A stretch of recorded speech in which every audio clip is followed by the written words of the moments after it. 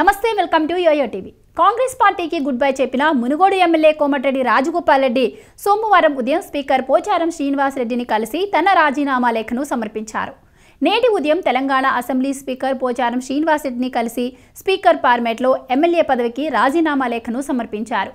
ఆ రాజీనామా లేఖ ఇచ్చిన వెంటనే స్పీకర్ ఆమోదించారు. దీంతో మునుగోడుకు ఉప ఎన్నిక ఖరారైంది. రాజీనామా అనంతరం కోమటిరెడ్డి రాజగోపాల్ రెడ్డి చేసిన కామెంట్స్ ప్రస్తుతం తెలంగాణలో సంచలనం సృష్టిస్తున్నాయి. మునుగోడు ఉప ఎన్నికతో కేసీఆర్ పతనం ప్రారంభమవుతుందని కేసీఆర్కు ఉద్యమ సమయంలో కోట్ల రూపాయలు ఇచ్చాడని ఆయన వెల్లడించడం గమనార్హం.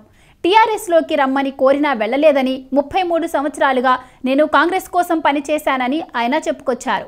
మునుగోడు ఉప ఎన్నికలో ఖచ్చితంగా ఓడిపోయే ఛాన్స్ అయితే లేదని కోమటిరెడ్డి రాజగోపాల్ రెడ్డి చెబుతూ ఉండటం గమనార్హం. మరోవైపు మునుగోడు ఉప ఎన్నికలో గెలుస్తామనే కాన్ఫిడెన్స్ను కాంగ్రెస్ టీఆర్ఎస్ పార్టీలు కలిగి ఉండకపోవడం గమనార్హం. అన్న భవిష్యత్తు కోసమే బీజేపీలో ఆలస్యంగా చేరారని కోమటిరెడ్డి రాజగోపాల్ రెడ్డి వెల్లడించడం గమనార్హం. మునుగోడు ఉప ఎన్నికలో అధికార పార్టీకి ఓటమి తప్పదని విశ్లేషకులు సైతం భావిస్తున్నారు.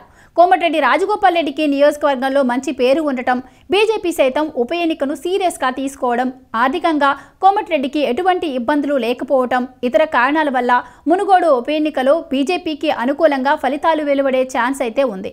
బీజేపీ ఎన్నికల్లో గెలిస్తే తెలంగాణ అసెంబ్లీ ఎన్నికల ఫలితాలే మారిపోయే ఛాన్స్ అయితే ఉంది. తెలంగాణలో బీజేపీ అధికారంలోకి వస్తే రాజగోపాల్ రెడ్డికి మంత్రి పదవి దక్కే ఛాన్స్ ఉందని తెలుస్తోంది. మరోవైపు రాబోయే అసెంబ్లీ ఎన్నికల్లో తెలంగాణలో అధికారంలోకి వచ్చే పార్టీ ఏదనే ప్రశ్నకు భిన్నాభిప్రాయాలు వ్యక్తమవుతున్నాయి. రాబోయే ఎన్నికల్లో తెలంగాణలో హంగు వచ్చినా ఆశ్చర్యపోవలసిన అవసరం లేదని కామెంట్లు వ్యక్తమవుతున్నాయి. పార్టీ మారాలనుకునే అభ్యర్థులు సైతం ఏ పార్టీలో చేరితే తమకు భవిష్యత్తు ఉంటుందనే ప్రశ్నకు సరైన సమాధానం చెప్పలేకపోతున్నారు.